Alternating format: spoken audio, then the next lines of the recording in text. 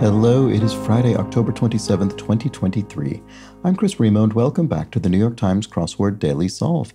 It's a Friday crossword, which means we are going to be solving a themeless puzzle to kick off the solving weekend, and this themeless edition of the Daily Solve has been brought to us by Noah Bezanson, Alan Blunder, Mitchell Turek, and, as always, the indomitable Showmaster and the incredible Horan family.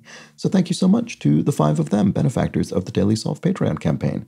They do, of course, sustain this channel and bring us this series. I'm very grateful to them for that. So thanks to them for their efforts. Thank you to everybody who's a patron. And if you'd like to become one yourself, you can head over to patreon.com slash dailysolve. There's also a link in the description field, and there you can find all of the bonus videos available to patrons, as well as the Let's Check the Crosses official mug for benefactors. And those uh, bonus solves include, well, I did actually record yesterday the um, latest Boswords Fall Themeless League uh, competition puzzle. So I might put that up tomorrow, I suppose, because today I should do the um, mini puzzle puzzle pseudo speed solve. So you can look forward to both of those in the next day or so. And uh, thanks again to all of the patrons. Um, you can find, I already said where you can find it. anyway, uh, another thing you can find in the description field is a link to the Daily Solve Discord chat server. So check that out if you're inclined. There's a nice, friendly chat community over there. So all are welcome.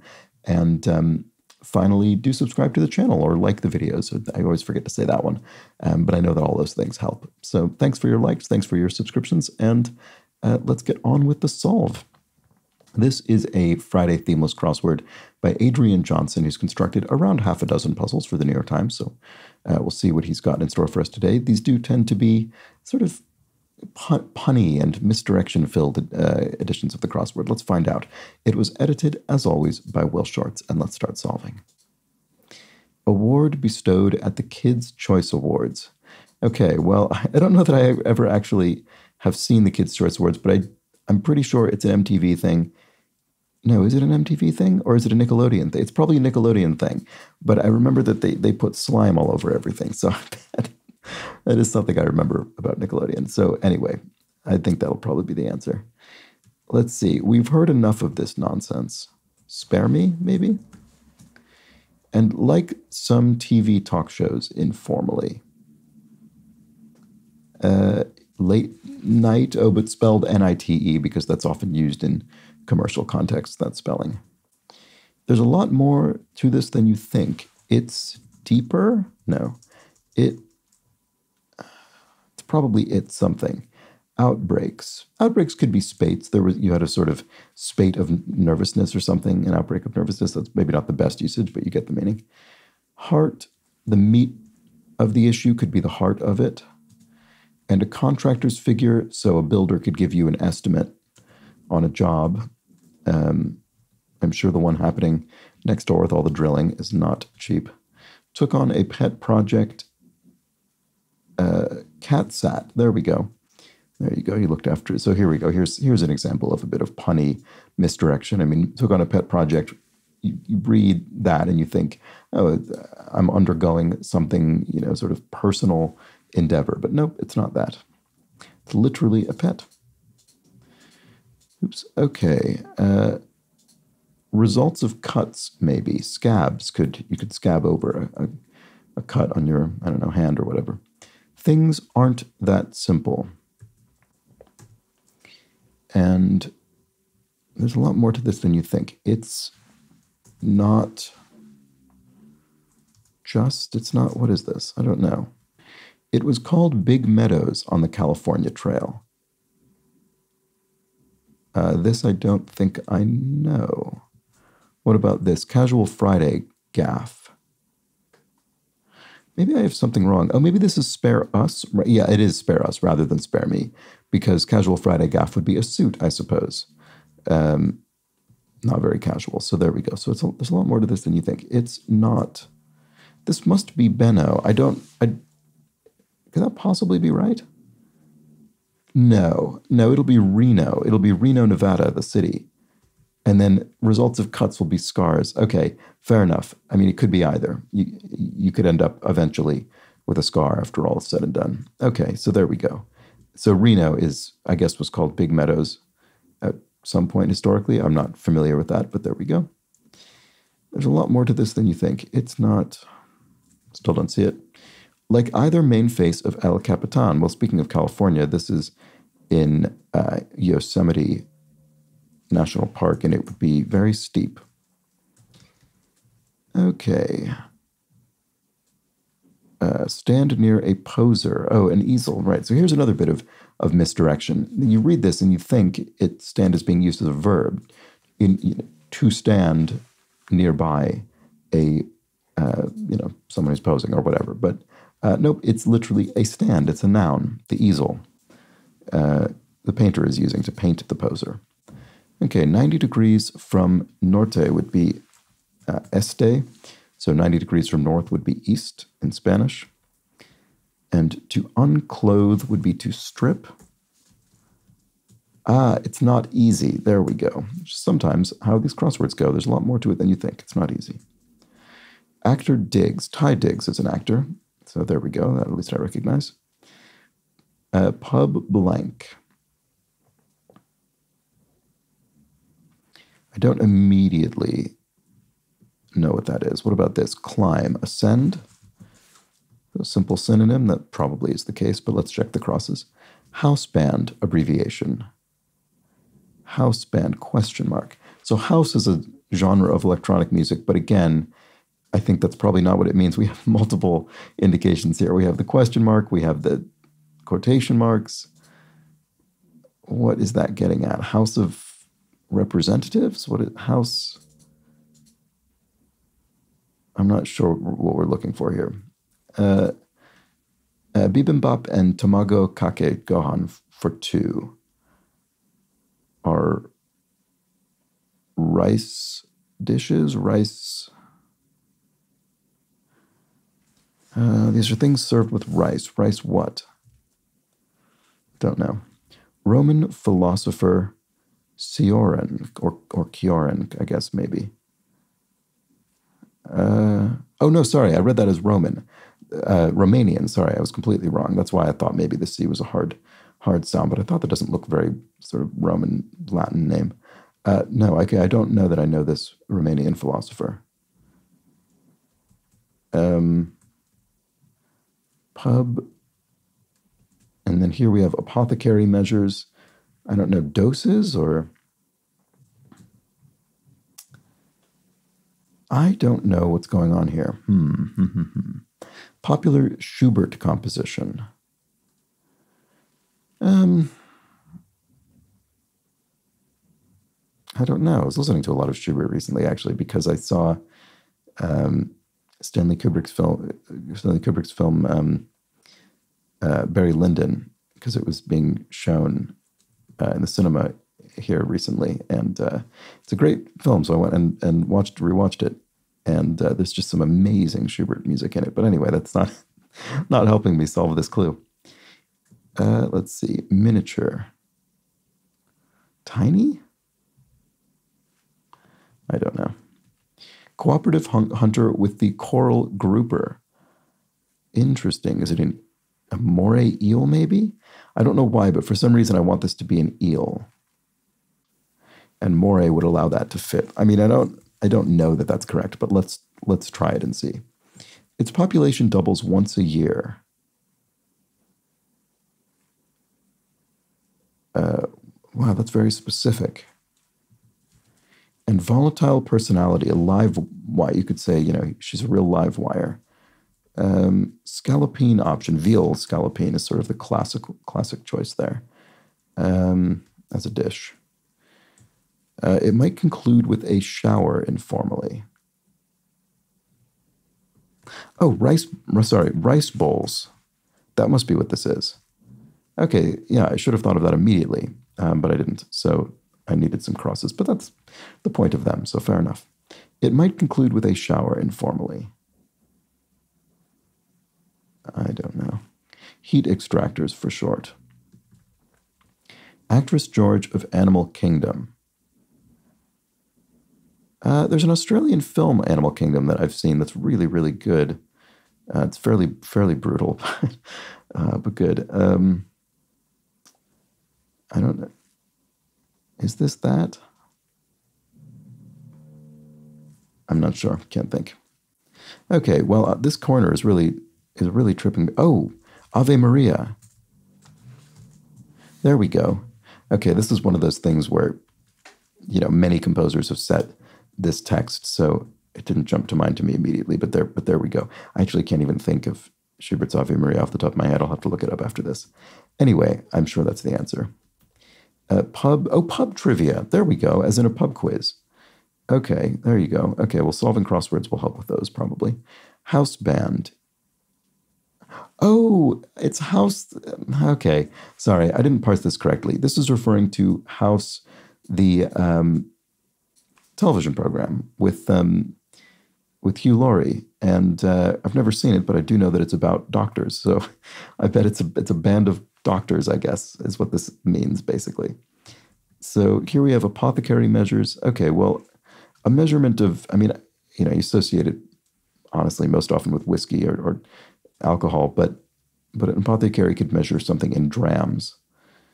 Uh, so that could be it. And then features of many hotel rooms. Mini bars, right. Okay, I didn't even look at this clue. I should have. That would have maybe been one I could have gotten earlier. This looks like maybe the, the name Emil. Uh, alas, it is so. so. Yeah, it is. Sadly, yes. Okay, good.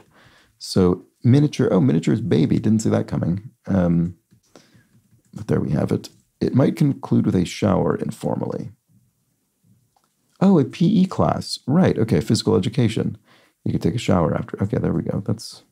I was I was thinking maybe it would be a baby shower because I was thinking Friday puzzle misdirection. I was trying to kind of overthink it.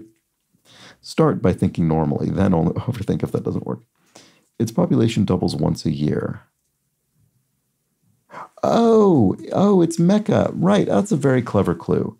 So the population doubles because of uh, pilgrimage to Mecca, but it doesn't permanently double. It's not as though each year it's double the previous year. It, it sort of temporarily doubles because of all of the, the visitors, the pilgrims. Ah, that's fair. Or, or, or just total visitors, I guess. It probably doesn't only include pilgrims. But um, ah, that's very clever. That's a very clever clue. And I didn't I didn't get it the first time. I was trying to think of something, I don't know, mathematical or, or scientific or something, but nope. Okay, anyway, don't know the animal kingdom answer. Uh, really excited, you're hyper, maybe? Bird whose largest species is called the Goliath. A heron? Just I'm just guessing this because of the H there. Uh, Goliath heron, maybe? Lead runner for short, or lead runner, I suppose. Um, but I don't know. Playwright awarded the Grand Cross of the Order of St. Olav in 1893. Um, I'm sure I should be able to get this just by thinking by thinking of who this would be. I guess Order of St. Olav. Henrik Ibsen, probably? That seems really, really likely. Actually, now that I've said it, I think it's almost certainly the answer. Um, but let's let's look at the crosses: garter and stockinette in knitting. Uh, I actually haven't a clue what this is about. I'm wondering if are these sort of knitting terms rather than articles of clothing or in this context, I'm not sure. Admonishment from Austin Powers. Oh, right, okay. He says, uh, "Oh, behave." That's one of his kind of catchphrases in those films. All rise reversal. Be seated. There we go. Novelist whose Little Fires Everywhere became a number one bestseller. I actually read this. Uh, and now I can't remember the author's name. Um, well, that's annoying. It, Cecile or Celine or something. Uh, oh, that's that's infuriating. I'm so frustrated. Okay, uh, Celeste maybe Celine Celeste. Well, it couldn't be Celine. It could be Celeste. Uh, yeah, let's just try that. I don't remember. You maybe. Um, lead runner for short. Oh, CEO, the person running a company. Is it that? This looks like Oberon, but it isn't because it doesn't start with O. But get serious in a way. Oh, sober up. Yeah, that sounds right. sort of get serious, you know, get, get yourself, get your head in order. Self starter, yourself. So often when you see starter or ender, things like that, often what it can mean is simply a prefix or a suffix to a word. So you you simply prefix self with your, and that makes makes a valid word itself. So yourself. Okay, children's stories with Truffula trees. Oh, that's the Lorax. Wow, I haven't thought about that in more years than I'd care to calculate. Garter. Oh, are these stitches? Are these sort of garter stitch or stockinette stitch? I mean, I don't know anything about knitting, unfortunately, but that's my guess. Let's see if it works. Links things. T. Oh, as in links, as in a uh, certain category of golf course would be links. And the, although I guess often people use it generically to refer to any golf course, um, but regardless, you would use a T, a golf tee on it.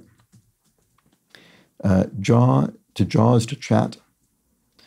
Uh, jaw jaw, not war war, as uh, Churchill said. Uh, unfriendly crowd, the haters. And goings on are events, things that happen. Plant growing in tufts, sedge, I suppose. Oh no, okay, I was wrong. It's not. It wasn't. Sorry, that's embarrassing that I said Celeste you, and I, I was spelling her name incorrectly anyway. But it actually was fortunate. No, it wasn't. I was spelling it correct. It's Celeste Ng. There we go. It is. It is just Ng is her name. Uh, yes. Okay. I remember that now that I see it. Got it completely wrong when I said it earlier, but at least I remembered vaguely her first name, so that helped me get most of the crosses, which in turn ultimately helped me get the last letters. So here we have 66 EG is um, a route to sort of famous US highway. And then slight contact on a pool table is uh, a kiss. Is that what you call it if a Maybe if the cue ball sort of just kisses another ball and doesn't strike it full on, maybe. It sounds plausible to me. Game whose name comes from French for five winning numbers.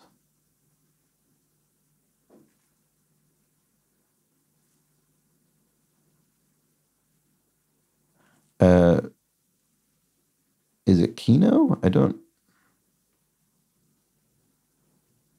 I'm trying to think how that comes from French. Five in French is cinq. Um, I don't know. I think it must be the answer. I don't quite. I'm sure there's. I'm sure there's a.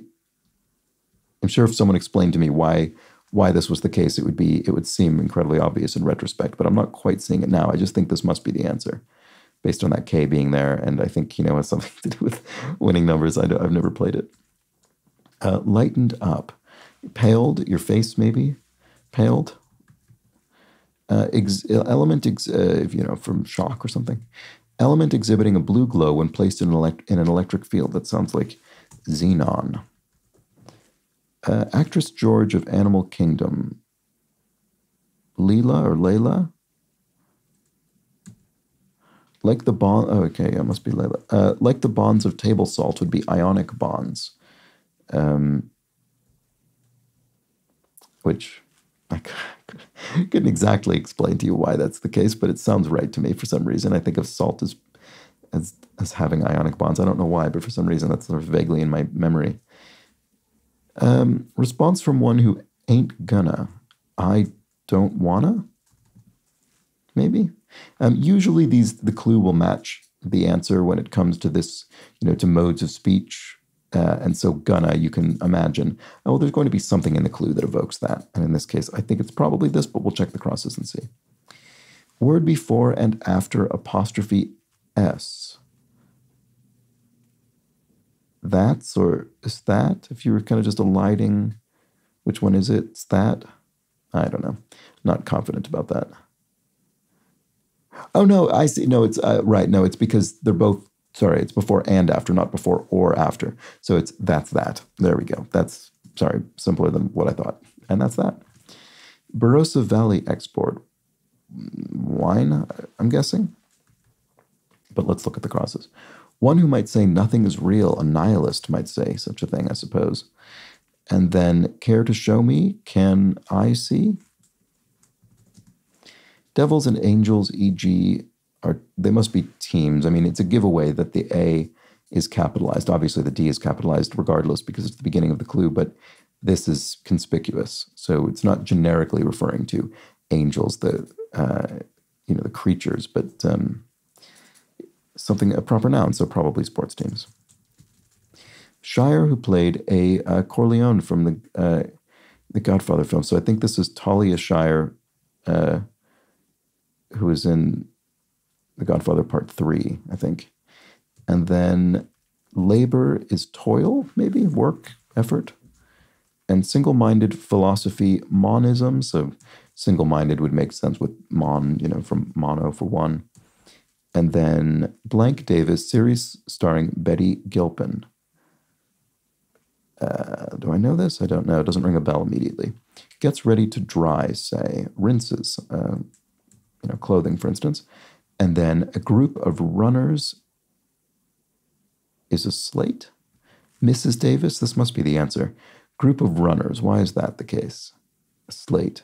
Is it a slate of runners in the sense of people in a race competing? I'm not sure. I don't know, but it must be the answer. so this is this will be Mrs. Davis, and there we go. That was the Friday crossword. Definitely got stuck a few times, but managed to uh, find my way through. This corner was particularly tricky for me. Um, although, uh, strangely, there were some clues I just hadn't looked at until I ended up ultimately basically moving on, like features of many hotel rooms being minibars. Should should look at all the clues, especially if you're stuck. Don't not read the clues. Uh, and there we have it. Lots of nice misdirection in here, exactly as we'd expect from a Friday puzzle. So its population doubles once a year. Mecca. Um, what else did we have? I mean, group of runners is, is, clearly something clever and punny that I'm not entirely seeing. Lightened up, paled, um, self starter, your took on a pet project, cat sat. Yeah, so all, all sorts of um, little puns and, and cleverness running throughout the puzzle. Uh, not not brutally difficult. I just got myself stuck up several times. I think. I mean, I suppose, you know, this thing about rice bowls and Ave Maria. These are bits of specific knowledge, I suppose, that are easier if you know them. Whereas, you know, plenty of things in this puzzle are just sort of um, more general kind of words and vocabulary. I guess Celeste Ng, and then I guess there was a fair amount of that. Reno, Taye Diggs, um, a reference to to House. Um, yeah, Mrs. Davis. Yeah, so yeah, I guess there there was a fair amount of uh, of proper nouns and, and, specific knowledge going on in this puzzle. let me know how you fared with that. If you if that was uh, if that got you um, held up, or if that has often those things help, but uh, they can they can do either. In any case, let's let's discuss a few clues from yesterday's puzzle. I did note some down. I didn't uh, note down all of the, com- the, the comments with interesting knowledge from yesterday's puzzle because um, there were quite a few actually yesterday, so it was interesting. But but I'm just reading the ones that are sort of necessary to correct me um, because I said something wrong or just didn't provide interesting context. So, Dragon Traces explains that the Hawaiian place name is pronounced Hilo, not Hilo, as I, as I think I erroneously pronounced it. So thank you for that. Uh, Kathleen Quinn has some context around Bobby Soxers and says the Lindy Hop is more associated with a dance of the roaring 20s, so not so much the Bobby Soxers, whereas the Sock Hop was a teenager's dance party in the 1950s. So there you go. That's something where if you'd presented those in front of me, I would have come to that conclusion, but I just couldn't yeah, sock hop didn't come to mind for me at all. So thank you very much for that context. Uh, Kathleen Quinn, uh, also the same same Kathleen Quinn, points out regarding Troy, long believed to be merely a myth, ruins identified as Troy were discovered in Western Turkey by the German archaeologist Heinrich Schliemann in 1870. And yes, I, I actually did know that, and I that was why I kind of corrected myself when I was speaking about Troy. I think I sort of first erroneously said mythological Troy or something like that, and then I corrected myself to indicate that I was that the the sort of Trojan War is likely the mythological part, um, not the not the existence of Troy itself. But I probably wasn't clear enough in my correction, so thank you for making that explicit. Uh, Tom Sella explains Elsie the cow is the mascot for Borden Dairy, and uh, Oh, and that was all I had. All right, well, there we go. That, thank you to everybody left comments as usual. I'll be back tomorrow for the themeless Saturday crossword, so do join me for that. But until then, please do have an excellent remainder of your Friday. Take care.